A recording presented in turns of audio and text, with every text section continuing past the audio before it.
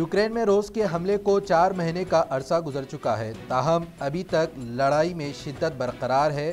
ताज़ा जानकारी के मुताबिक रोज़ गोलाबारी से यूक्रेन के खैर कैफ इलाके में कम अज़ कम पंद्रह शहरी हलाक हो गए हैं, जिसके बाद इलाके में हलचल मच गई। लोगों में नफसा नफसी का आलम देखा गया।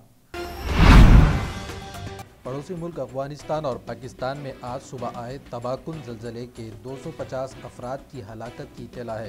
पड़ोसी मुल्क अफ़गानिस्तान और पाकिस्तान में आज सुबह आए तबाकुन जलजले ने 250 अफराद की हलाकत की इतला है। अफ़गानिस्तान में छः अशारिया एक शिद्दत के जलजले के झटके महसूस किए गए। इसके अलावा पाकिस्तान और मलेशिया में भी जलजले के झटके महसूस किए गए। पाकिस्तान और मलेशिया से जानी और माली नुकसान की इत्तला अभी तक नहीं है। कर्नाटका, मैंगलोर के एक कॉलेज में हिजाब पर पाबंदी की वजह से पाँच स्टूडेंट्स ने दूसरे कॉलेज में तालीम जारी रखने का लिया फैसला। कॉलेज प्रिंसिपल से मांगा ट्रांसफ़र लेटर। इस साल कॉलेज में 15 स्टूडेंट्स पर हिजाब पहनकर आने पर लगा दी थी पाबंदी। सऊदी हुकाम के मुताबिक इस साल आजमीन हज अभी तक दुनिया भर से मदीन मुनवरा में एक लाख बहत्तर हज़ार पाँच सौ बासठ मर्द खवतिन पहुँच चुके हैं। मुल्क भर में मोदी हुकूमत की न्यू स्कीम अग्निपथ के खिलाफ पुरतशद मुजाहरे के दरमियान फौज सरबरा जनरल मनोज पांडे का बड़ा बयान। कहा, अग्निपथ स्कीम वापस लेने का सवाल ही नहीं है। स्कीम नौजवानों के लिए सुनहरा मौका है। इसके कई फवायद नौजवानों के लिए बनाए गए हैं।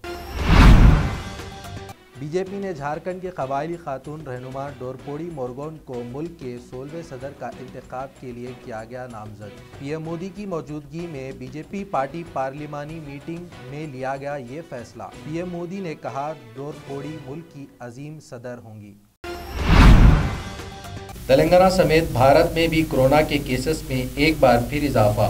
डॉक्टर जी श्रीनिवास ने एक बार फिर आवाम को एहतियात बरतने की दी हिदायत। हर एक को मास्क पहनने और सोशल डिस्टेंसिंग रखने को कहा।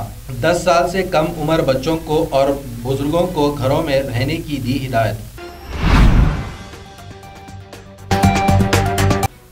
तेलंगाना से ताल्लुक़ रखने वाले आज़मीन हज के दो काफ़िले पहुँच चुके हैं मक्के मुकरमा उम्र की अदायगी के बाद इबादतों में है मसरूफ़। अभी तक दो फ़्लाइट के ज़रिए सात सौ छियालीस आज़मीन पहुँच चुके मक्का। आज़मीन हज का तीसरा काफ़िला तेईस जून की सुबह चार बजे जिद्दा के लिए होंगे रवाना। सोना और चांदी की कीमतों में उतार चढ़ाव है जारी। हैदराबाद में 24 कैरेट सोने की कीमत इक्यावन हज़ार सात सौ साठ रुपये फ़ी दस ग्राम। जबकि 22 कैरेट सोने की कीमत सैंतालीस हज़ार चार सौ पचास रुपये दस ग्राम। की गई रिकॉर्ड, वहीं चांदी की कीमत छः सौ साठ रुपये फ़ी दस ग्राम दर्ज।